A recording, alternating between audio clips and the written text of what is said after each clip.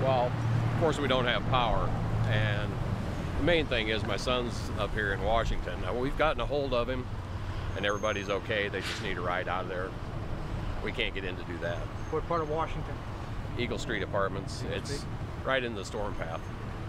Was there any injuries or everybody okay? No, or- he said everybody's fine. That's good.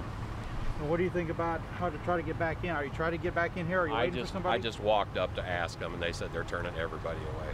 So Okay. This is happening. I was evacuating the Peoria airport. I work at the airport. You're busy doing that. Yeah. When did you find out about the actual tornado hitting Washington? Uh, about two hours, or about, uh, I'd say about noon. Had a buddy call me and let me know what went on. What are your plans of trying to get back in there to see what you get? Or See, see what get, see what the damage is, and